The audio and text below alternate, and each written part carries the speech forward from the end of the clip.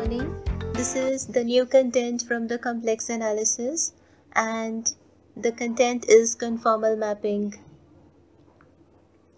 Mapping or transformations. So if fx is a real valued function of a real variable x, then this equation y equal to fx establishes a correspondence between points on x-axis and points on y-axis. So by having the values of x and by putting those values over here, we get the values of y and accordingly we draw the curve in the xy plane. Right. But when fz is a complex valued function of a complex variable z, no such convenient graphical representation is available for w equal to f of z. Right? So for that, a plane is required to represent each complex variable w and z. So for z plane, I'm having z as x plus iota y and for w plane, I'm having w as u plus iota v. And the defining equations are u equal to uxy and v is equal to vxy which means v is a function of x and y. u is a function of x and y. Suppose I'm having the point xy in z plane. On the z plane I'm having x-axis and y-axis and for the w plane I'm having u-axis and v-axis. So for corresponding every point on z plane, if I get the unique point, one and only one point, in the W plane say UV. Then we say that it is a 1-1 correspondence. Right? So corresponding to each point xy in the z plane, there exists a point uv in the w plane. And these points are also called the images of each other. Right? And this equation 1 these defining equations these are called transformations.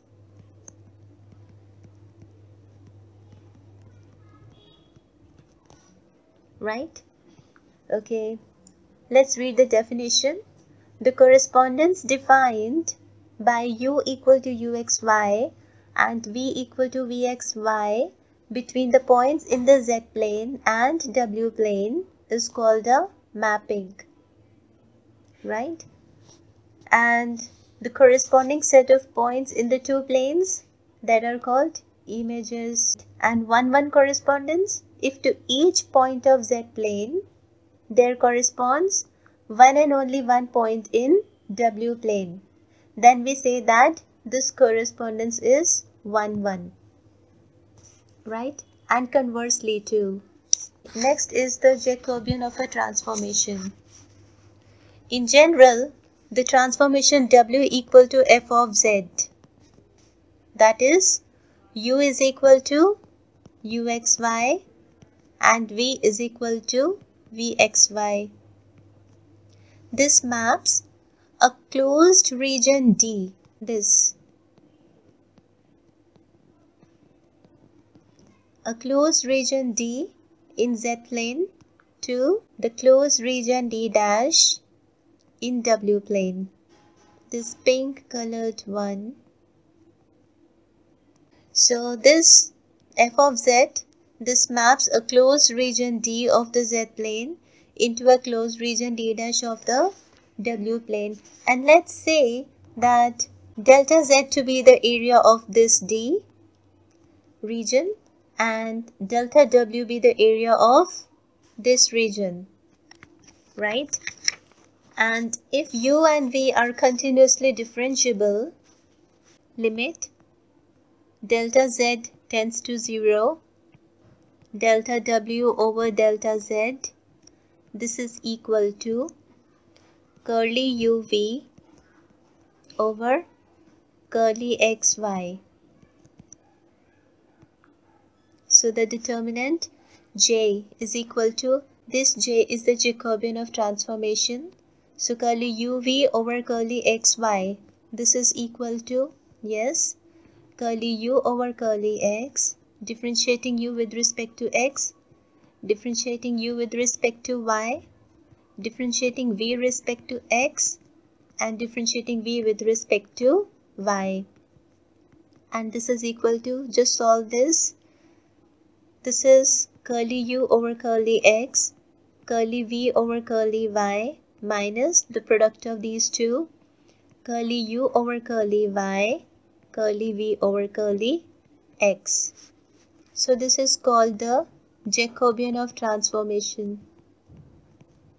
So in particular suppose if fz is analytic function then we can also use the CR equations here what are the CR equations it is curly u over curly x equal to curly v over curly y and curly u over curly y is equal to negative of curly v over curly x.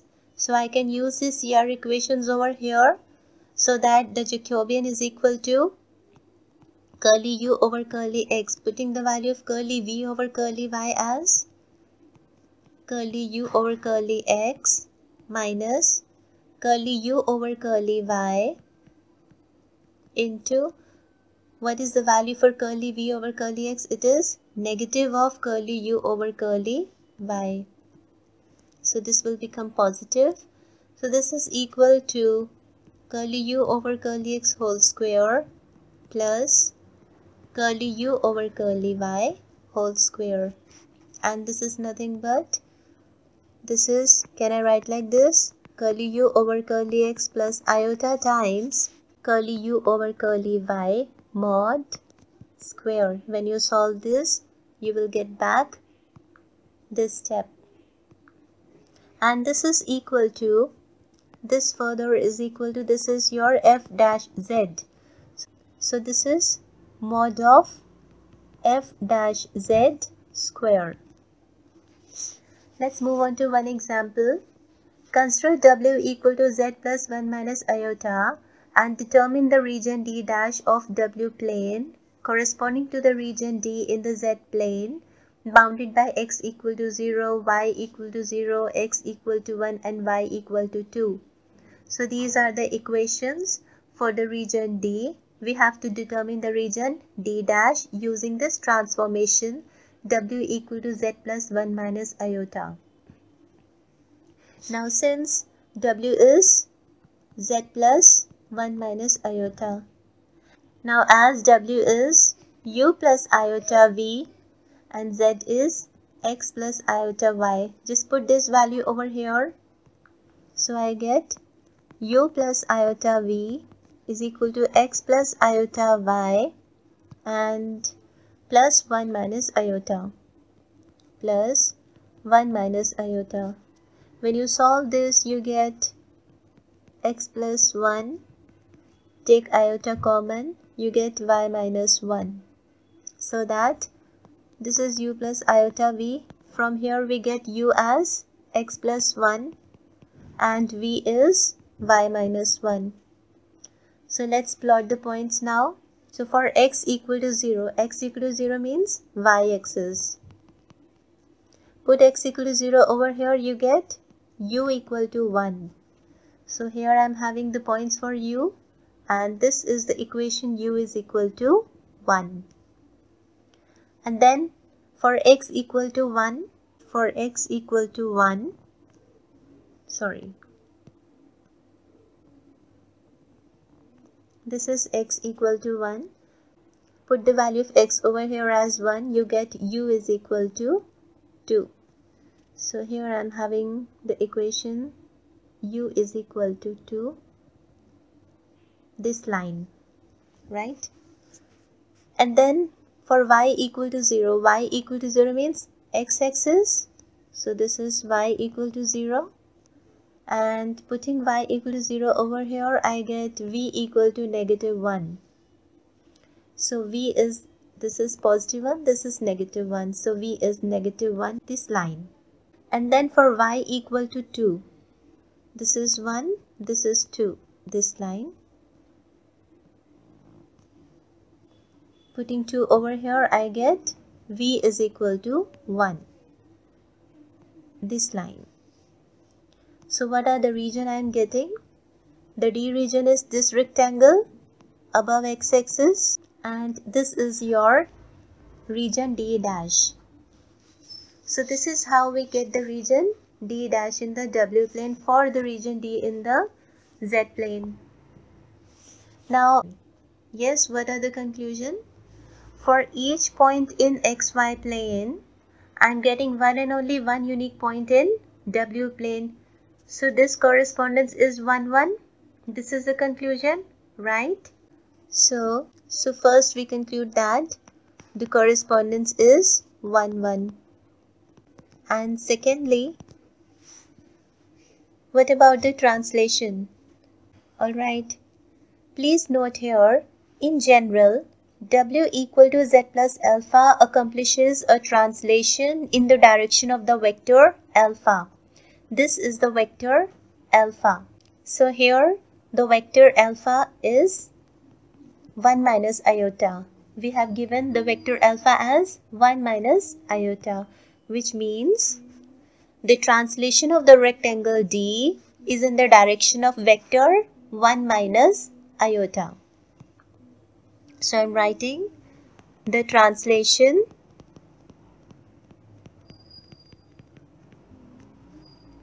of rectangle D